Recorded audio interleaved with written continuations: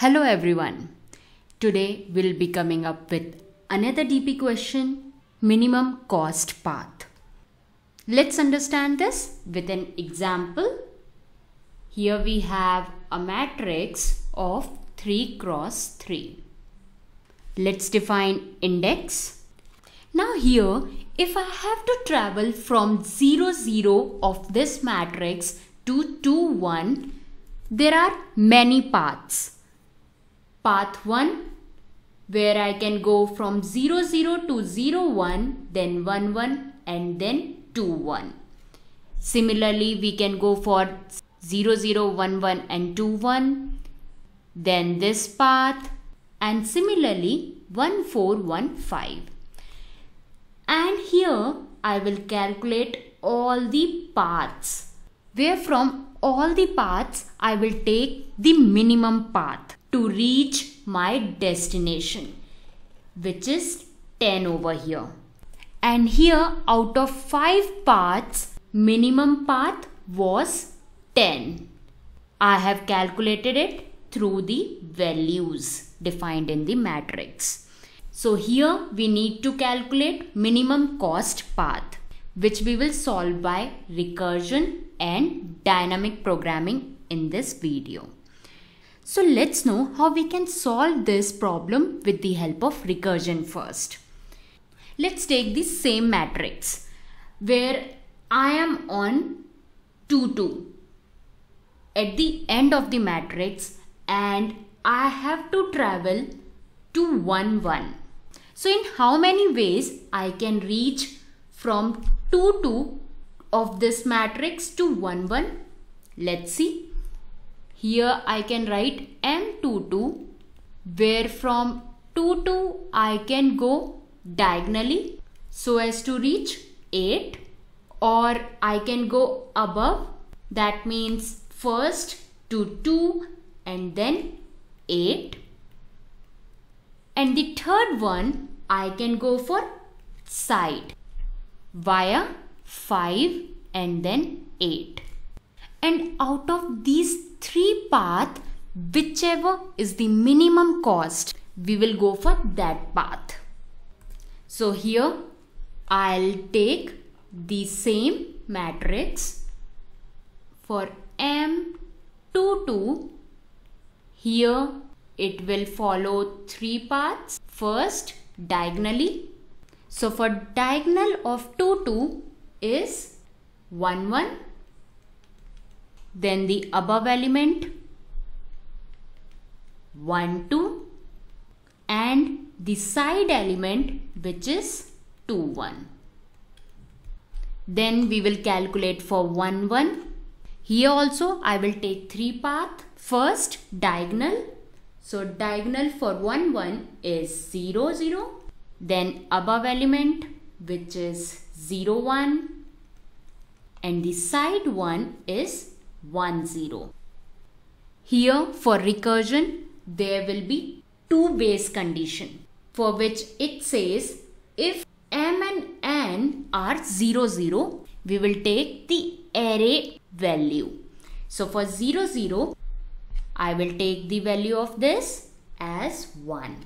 Now for 0 1 what I'll do I'll take the diagonal element diagonal means m minus 1 and n minus 1. So, m minus 1, 1, 0. Then the above element, element which is above 0, 1 will be m minus 1 and n as it is.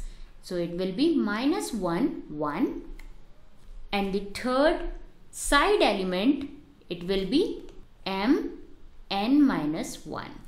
So here it will be 0 as it is and for 1 0. Now the second base condition is either of m or n. m is for column and n is for row. Either of them is in negative, it will return infinity. So minus 1 0 column value is in negative so it will return infinity minus 1 1 infinity and for 0 0 the other base condition will be 1. We have fixed the first value of the matrix to be taken as it is from it. Then we will calculate for M10 with three paths. Diagonal for M10 will be M minus 1 and N minus 1. 0 minus 1.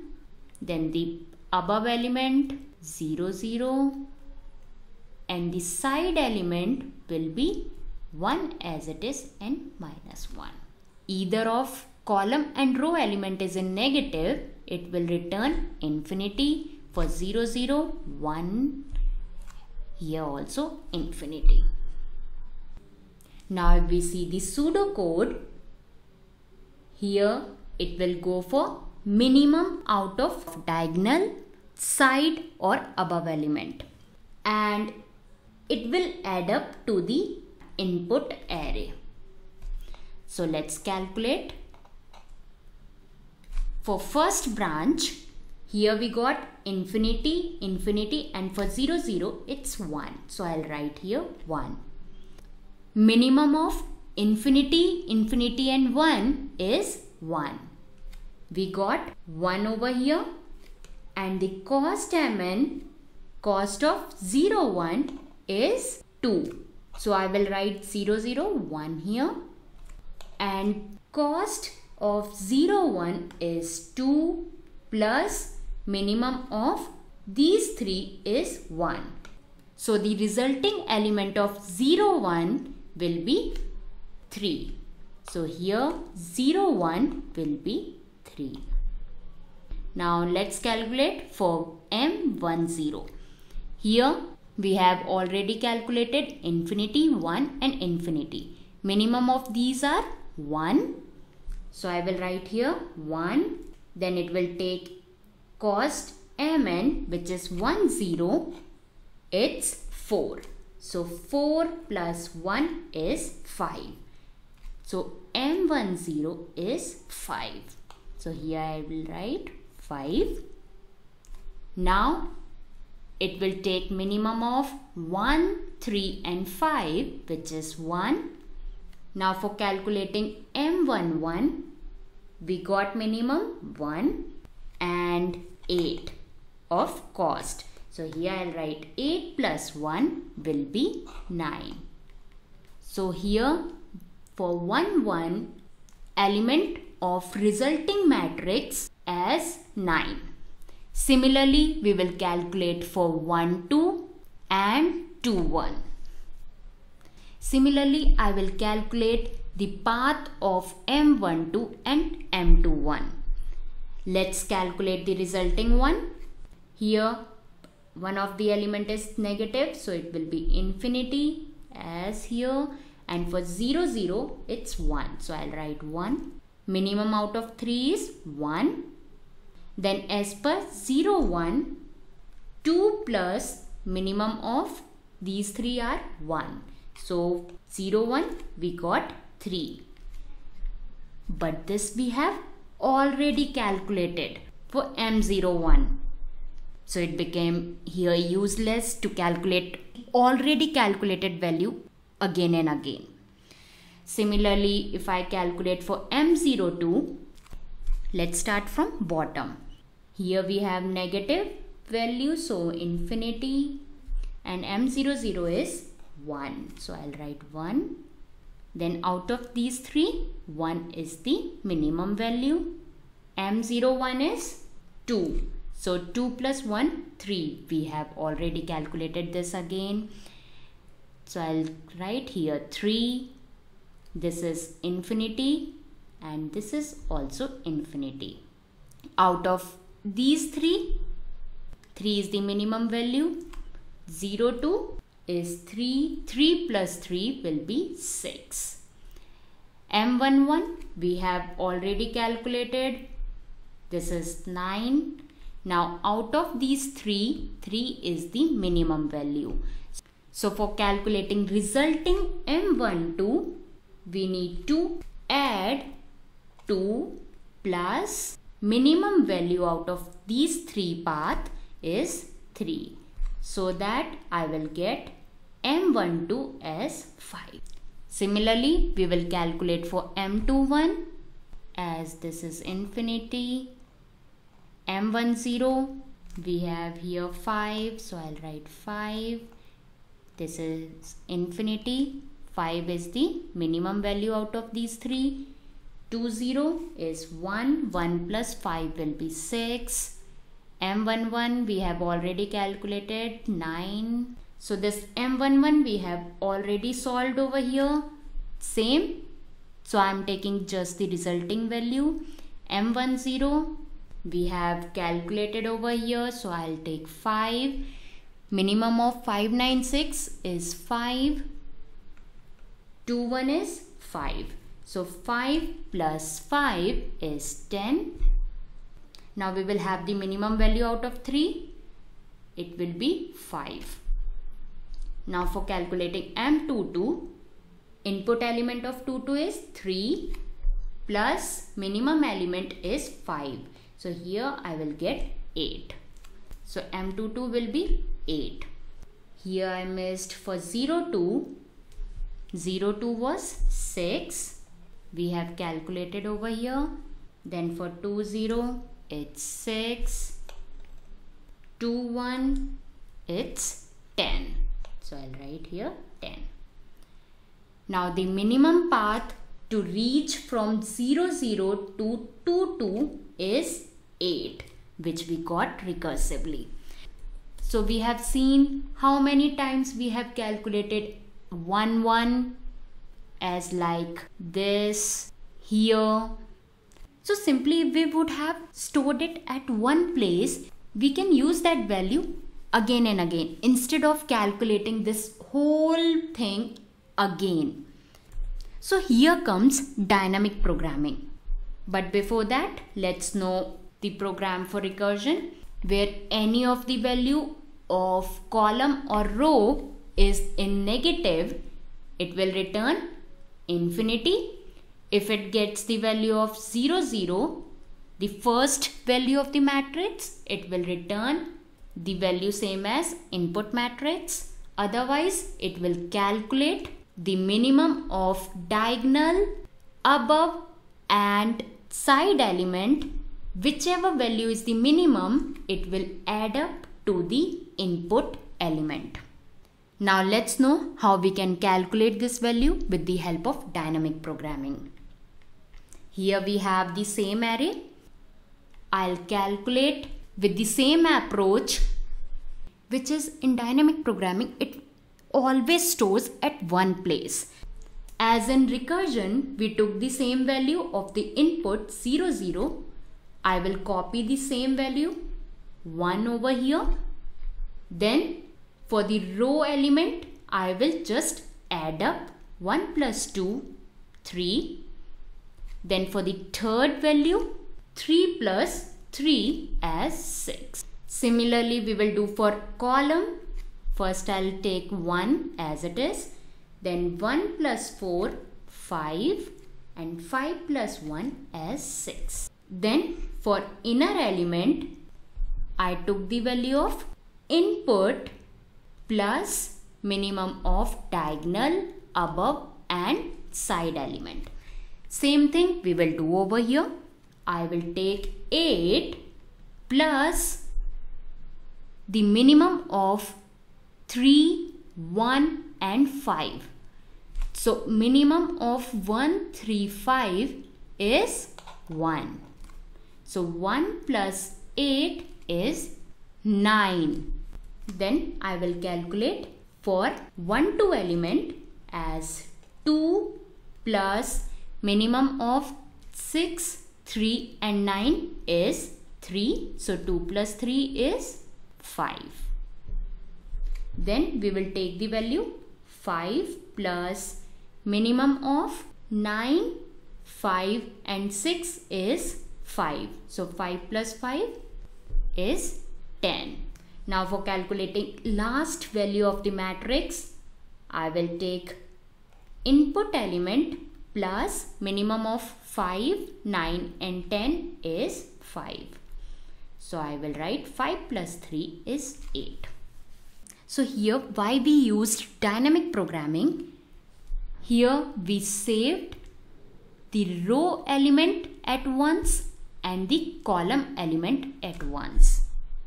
Now for calculating inner value, we simply compared these three values which are fixed and by adding input element, we got the element for the resulting matrix. As simple as that. Now let's see how to write program for this. So for writing Python program, we will go to PyCharm. Let's start by writing the function min underscore cost underscore dp. Here I will take three inputs. The input matrix as cost underscore matrix. Let's keep it as MAT and the number of rows which I'll take M and the number of columns. Now let's start making the matrix of M cross N. So for making 2D array in Python, we just need to write dp is equal to I'll take the variable as dp and here for 2d 2 square brackets for i in range up to m plus 1 and the other one for j in range n plus 1 and here what I'll do I'll fill 0 for elements in the matrix as like this. This is 3 cross 3. Now the first thing what I'll do, I'll take the 0 cross 0 as it is of the input array. So I will copy dp0 0 as cost underscore mat 0 0 because on the basis of it we will fill the row and then the column. So for filling column elements, I'll write for i in range. Here I need to fill from one element to the last. So I'll write 1 to m plus 1 as 0 0 we have already copied from input array. So here it will take dp of i 0 as it is a column element copied from dp i minus 1 input matrix of cost i 0 the same thing we will do for row. So i'll copy. Let's keep the row element as j. So with this i will get the value. Let's take the input matrix first and with the help of cost matrix I will get copied from input matrix 0 0 and on the basis of these two loops 3 6 5 and 6 now for filling the input elements of the matrix let's make the loop over here where it will compare with for diagonal above and side element. So I'll write for i in range 1 to m plus 1 as all 0 elements we have already covered. Here I'll take for j in range 1 to n plus 1 and for filling dpij first I need to copy the input element of that particular element plus minimum of first the diagonal element then the above element and the side element. And then simply we want the dpmn now let's give the input matrix over here. And then I will call the function by writing print here let's say I want 2 2 here I'll give cost as input matrix. So let's run the program. Oops. Here it should not be plus by mistake. I have written plus. It should be i and j. Now let's run the program again. And here i got 8 value for my last element of the array as we have calculated over here